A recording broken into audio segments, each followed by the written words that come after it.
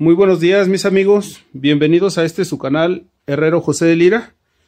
Este, ahora eh, les traigo este video, es un video de recomendación de equipo de protección personal. Eh, no es tan profesional como muchos lo, lo quisieran ver, pero simplemente yo les voy a dar una sugerencia del equipo de protección personal que necesitamos cuando somos herreros. ¿sí? Este, es muy difícil que todos los, los herreros lo, lo, manejemos completo, ¿verdad? Pero este, les quiero mostrar. Necesitamos lo que es un, un mandil de carnaza para proteger lo que son nuestros órganos y nuestro pecho. Necesitamos lo que son unas mangas de carnaza para evitar quemaduras y eh, por la soldadura necesitamos lo que son los guantes largos para soldador que tienen protección, son más gruesos y son más largos para evitar las quemaduras al momento de soldar. Este, también utilizamos lo que es la capucha, una capucha de, mezclilla para evitar las quemaduras en la parte de, de la cabeza y evitar eh, salpicaduras. ¿sí? Este, algo muy importante son las botas. Las botas ya que siempre nosotros manejamos materiales ferrosos, esas botas son industriales y son de casquillo, siempre para evitar que tengas un accidente en tus dedos por alguna algún metal que se te caiga o algún golpe. ¿sí? Eh, también es muy importante utilizar lo que son las camisolas de manga larga.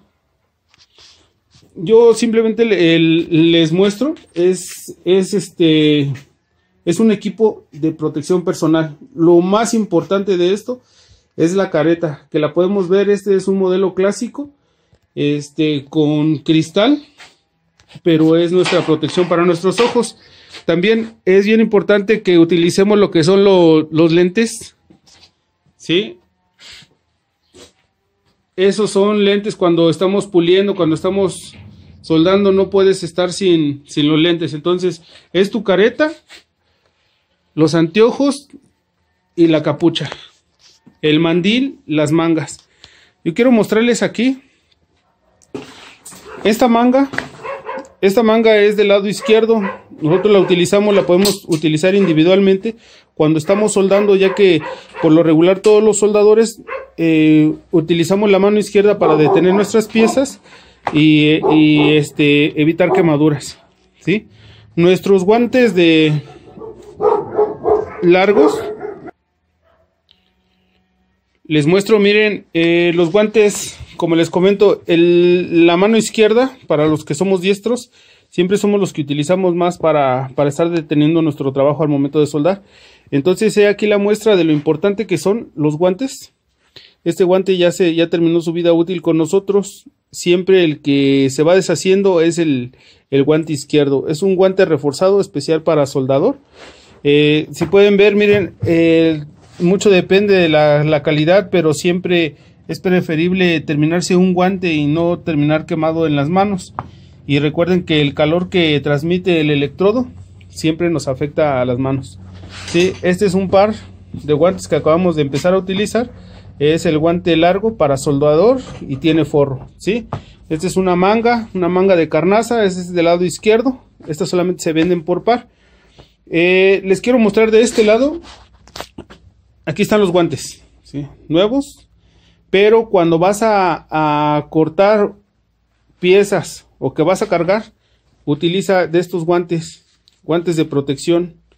La verdad, estos te ayudan a evitar cortaduras en tus manos porque nosotros manejamos las láminas y luego terminamos este cortándonos, ¿sí? Entonces, debemos de tener mucho cuidado a protegernos en este en esta cuestión de nuestras manos que son nuestra mejor herramienta. ¿Sí? El, les quiero mostrar este este mandil de carnaza que para muchos es molesto. Es un mandil de carnaza largo. Quiero que vean aquí la muestra de este que, que tenemos, que ya terminó de, de, de ser útil para nosotros. Aquí están las quemaduras. Cuando se hace un, una pulida, un desbaste, el mandil detiene todo lo que es la, las chispas, entonces evita que te quemes tu cuerpo. ¿sí? Quiero mostrarles para que vean lo importante que es utilizar el, el mandil. Y esta, esta es la capucha, es una capucha de mezclilla, pues casi nadie la utiliza en los talleres, ¿verdad? Pero deberíamos de protegernos lo que es nuestro cuello, nuestros oídos y nuestra cabeza. Es una capucha para soldador de mezclilla. Estos guantes se deben de utilizar para cargar, para descargar material, para cargar material, este, para el traslado. Hay que evitar problemas como estos que son cortes con, con láminas filosas, ¿sí? Eh, eh, lo importante de los cascos, este, este casco es automático, ya tiene, es, es electrónico, es una marca muy buena, nos ha resultado perfecto. Este, la verdad, muchos cuando ven el costo de este casco no lo compran, prefieren comprar uno de 300 pesos y en realidad lo que estás invirtiendo es en, en seguridad para tus ojos. ¿sí? Eh, quiero mostrarles algo muy importante, como les comentaba, el tipo de botas. Estas botas ya cumplieron con su función. Son botas de industriales, de trabajo, que tienen que tener casquillo para nuestra protección. Pero algo importante, estas botas son de son industriales para trabajos en general.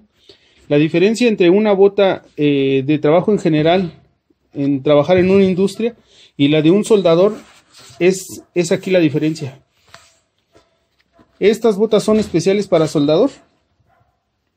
¿Sí? Tienen un protector en la parte de enfrente. Vienen remachadas, vienen cosidas. Y, y estas agujetas son de, de piel, no son de tela, ya que las de tela o las de nylon se queman inmediatamente y terminan así. O sea, con las chispas de la soldadura, todo va cayendo aquí y esto se mete la soldadura a nuestro pie y nos quema. Aunque nos protegen los dedos y nos protegen, no nos protegen totalmente. Como estas, estas vienen hechas especialmente para cuando tú cierres tu, tu agujeta, eh, si algo llega a caer en tu pie, aquí lo, lo resbale. ¿sí?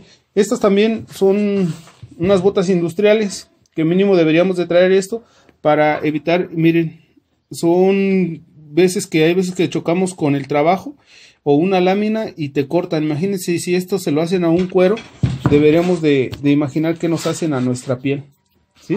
Este solamente es, es, un video de muestra. Ahora les voy a ir mostrando aquí poco a poco. Se va a ir quitando todo el equipo que para unos es molesto.